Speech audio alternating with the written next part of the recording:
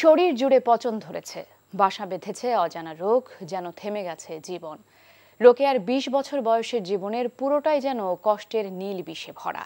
বাবা মা হারা রোকেয়ার মৃত্যু আর বেঁচে থাকার মাঝে এখন কেবলই অনিশ্চয়তা। স্থানীয় প্রতিনিধি আব্দুল আজিজ শিশিরকে সাথে নিয়ে শরীয়তপুরের রোকেয়ার কথা জানাচ্ছেন হাসান মাহমুদ।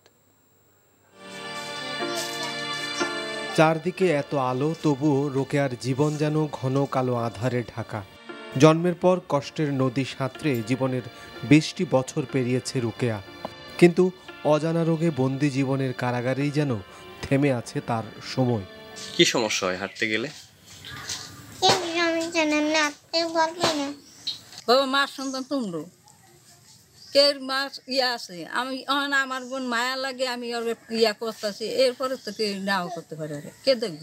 এখন একটু বেশি দেখা যাচ্ছে এখন ওই যে নখ টকগুলো এগুলা পছন্দ হচ্ছে আর কি এসে এগুলো আর কি চিকিৎসা টিকিৎসা করতে পারে না আর কি এগুলোই এই অবস্থায় আছে। জন্মের তিন বছর বয়সে মাকে হারিয়েছে। তারপর অনটনের সংসারে বাবার চির বিদায় দেখেছে দশ বছর বয়সী রোকেয়া। বাকি দশ বছরে চাচার সংসারে আশ্রিত হয়ে খেয়ে না খেয়ে যেখানে বেঁচে থাকাই দায়, সেখানে দুরারোগ্য অসুখের চিকিৎসা তো বিলাসিতা। আমরা প্রাথমিকভাবে মনে করছি সে প্রোজেরিয়া অথবা এলার্জেনর সিন্ড্রোম অথবা অন্য কোনো দুরারোগ্য কানেকটিভ টিস্যু ডিসঅর্ডারের রোগে ভুগতেছে। এ কারণে তার যে চিকিৎসা ব্যবস্থা, এটা খুবই একটু দুরূহ।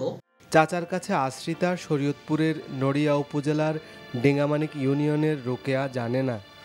অজানা অসুখে কতদিন এভাবে মৃত্যুর সাথে লড়ে এই নিষ্প্রভ বেঁচে থাকা হবে তার? কে বা এগিয়ে আসবে? Hasan Mahmud, NTV news, Dhaka.